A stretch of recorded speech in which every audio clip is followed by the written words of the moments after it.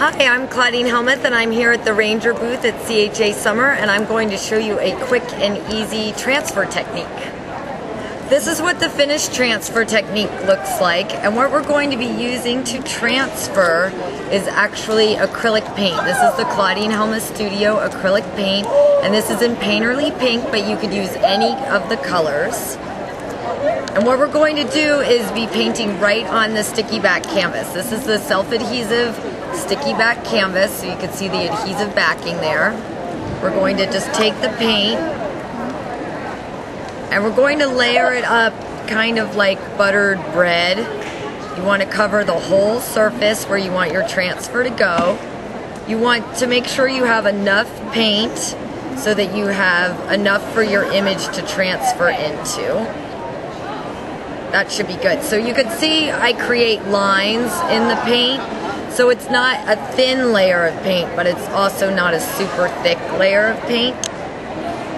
This is just a laser copy, so it's not an inkjet print, and I'm going to place it face down directly into the wet paint and rub the back to make sure there's good adhesion, and then you want to make sure that dries all the way. You could dry it either using the, the craft tool I would dry this for a good five minutes, even using the craft tool, or you can set it aside and come back to it when it's dry. This is one that I did actually yesterday, and now it's completely dried. The number one thing that can go wrong with this technique is not having it completely dry, so you want to make sure it's dried all the way. It's tempting to want to see the transfer happen, so you want to hurry it up, but it's better to just wait and make sure it dries. I'm just spraying with the mini mister filled with water, and you can see it's made a little puddle onto the sticky back canvas, and you can start to see the back of the copy showing through. Now I'm just going to take my fingers and start to rub gently. And this takes a few minutes. This might be a good project to do in front of the TV. You could see you're rubbing and as you remove that paper pulp, your image is revealed. So if you've done an image transfer before, you know that you can be rubbing and rubbing and rubbing the paper pulp off.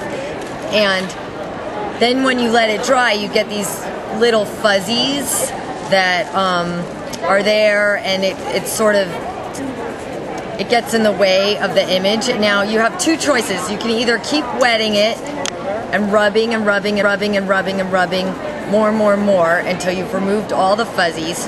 Or the other option is to use the multi-medium in gloss. And what you want to do is just get a little bit on your finger and you want to rub it in like you're rubbing in face cream.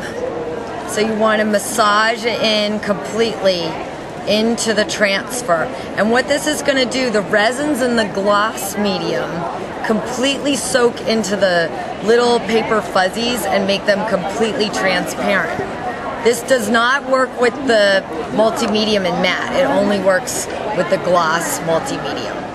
So you massage it in all the way until all of those fuzzies are gone and then you don't have to worry about them.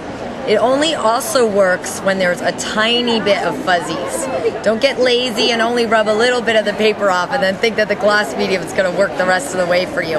It only works with those last little pesky fuzzies that are on there. So that's a really quick and easy way to do an image transfer directly into acrylic paint.